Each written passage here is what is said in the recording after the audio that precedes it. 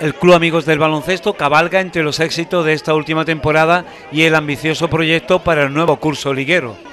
Cinco equipos masculinos y femeninos consiguieron meterse en finales provinciales, regionales y a nivel nacional.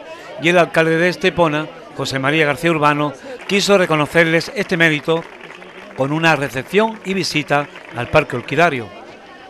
El CAF Estepona amplía a 26 el número de equipos para la nueva temporada y el director de cantera será Juan Baraza, un año más, que además entrenará al resucitado conjunto sub-22 masculino.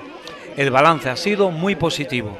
Fue un final de temporada estupendo, conseguimos meter el junior en Campeonato de Andalucía, ahí estuvimos, llegamos hasta cuartos y luego con el equipo senior pues llegamos hasta la final y realmente se nos escapó el ascenso por, puntos porque al final fue un triple empate lo que hubo y nos quedamos fuera por tres puntitos. Y la temporada que viene se presenta bastante bien, se presenta bastante bien sobre todo porque aumentamos el número de equipos, eh, nos situamos ya, tenemos mayor número de fichas jugadores, es decir, cada vez más peso y sobre todo lo que sí seguimos manteniendo es, ilusión.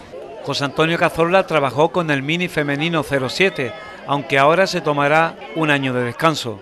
Muy contento porque nos quedamos segundo de Málaga, que nos dio el pase a lo que era Campeonato Andalucía y allí en San Lucas fuimos, quedamos subcampeonas, la verdad que fue un, un logro bastante importante para el club y en general muy contento por las niñas porque lo han disfrutado a tope.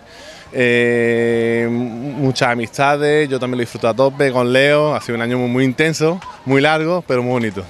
Juan Ramón Ramos, otro veterano del baloncesto esteponero, ha sido entrenador del infantil masculino y segundo del Primera Nacional Senior. Su nuevo reto será el junior masculino.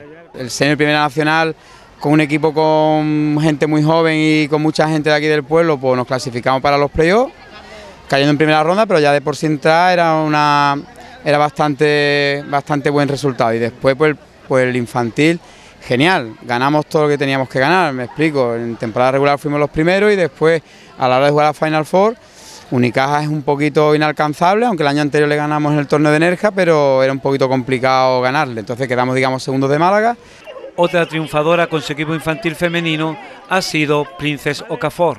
¿Cómo ha sido el año para el equipo? Ha sido muy lleno de nuevas experiencias y, y mucha eh, competencia y, sí, y mucha diversión. Y ganado un montón de partidos, casi todos. sí, quedamos primeras de Campeonato de Andalucía y después décimas en el Campeonato de España. En minibásquet habló el capitán Luca Doña en representación de su equipo. En la liga hemos quedado segundos, disputar entre nosotros Teatino y EBG y en el campeonato de Andalucía hemos luchado, hemos creído en nosotros y hemos quedado quinto en una buena posición. Contento entonces, ¿no? Sí, muy contento.